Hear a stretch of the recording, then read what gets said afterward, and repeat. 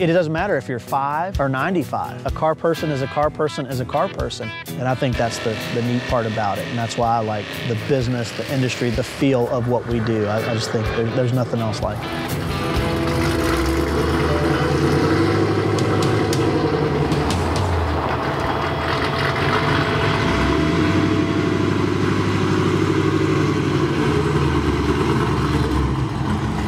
Hi, I'm Tommy Pike. Um, we're here at Tommy Pike Customs in Greenville, South Carolina. We are a automotive lifestyles business. We do everything from full restorations to pretty much anything that our customers need or desire. I started right out of high school working at my parents' garage and uh, got a little job at a local car stereo window tint shop and here we are. You know, 20 years later, I bought that business and turned it into now Tommy Pike Customs. I met my wife uh, at the Charlotte Motor Speedway. When I was still working at the Speedway, he and I worked together on a car build that was really driven by him. He wanted to do something for charity. And that's where I really started to see kind of that personal side of him. And I knew that every project that he worked on or laid hands on, he had a personal relationship with who was receiving those keys at the end of the job. It's pretty neat to be able to experience these things and, and see how it impacts people. When I come here, I'm at home. This is home for me. The crew here, they treat me with dignity and respect, and I trust them with my babies. These cars are my babies, you know, and I trust them with, with them, and I know they'll do the right thing.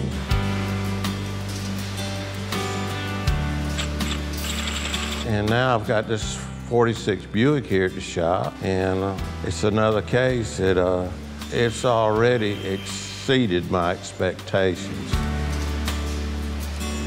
I'm really excited about it. I can't I can't wait to see it finished because it's I mean it's a local car in our hometown and it's been owned by the same family. I'm anxious to see it and I'm anxious for the family to see it too. Tommy is the son that Kenny never had and Kenny has become the the dad that Tommy lost. Everywhere we go, they ask, are we Tommy's parents?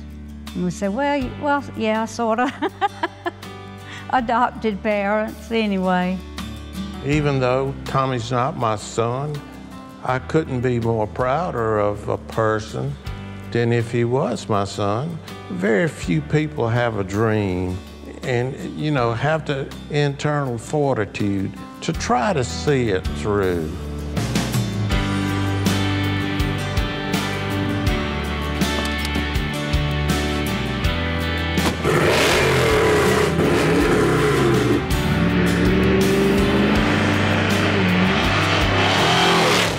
Ultimately, he wanted another toy. As much as he has customer projects going on, he is a car guy. He's not just a, a guy to work on other people's cars. He himself is an enthusiast. So for him, you know, this definitely was another toy. He had started this restoration. The relationship started to brew with Quaker State, and it really just perfectly married. We were looking for something that would be different, old school. It, would be a showpiece, but almost an interactive showpiece. The wheels started turning, and six months later, here we are with this incredible, awesome 69 F100. The truck from the outside looks like your grandfather's truck or your dad's truck. But when you open the hood or when you hear it start or when you, you know, sit inside it and look at that interior, you realize this is so not my grandfather's truck.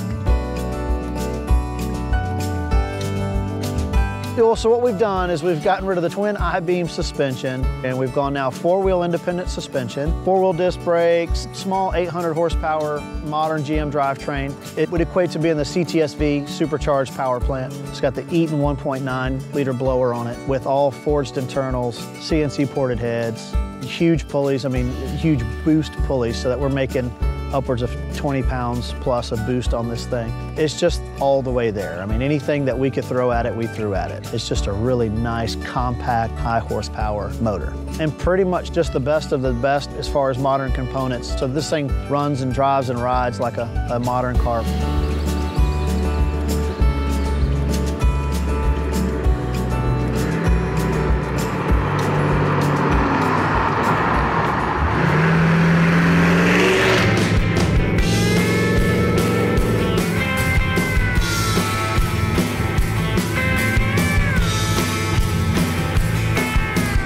A really nice, very twisty, windy road.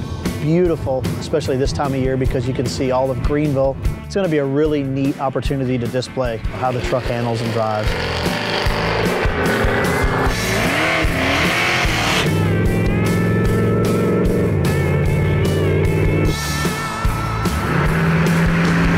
It's like sweaty palms. Uh, you have this nervous shake. I mean, it's like, it's just amazing. It, it's just on the fine line of being out of control. I mean, it's just, it, it's a beast.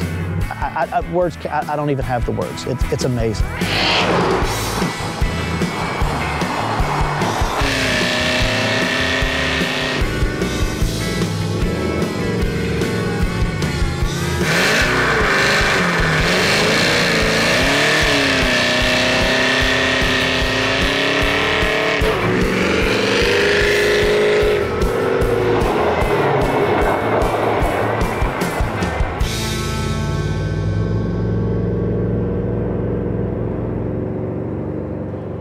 Tommy's always, you know, referred to his job as just telling a story. And it's, it's either a story of a relationship, it's a story of hard work. So we see just continuing to do that. You know, we don't have the desire to be a, you know, a high volume car builder. We want to grow the business, but not by losing that, that personal touch or the opportunity to build those relationships.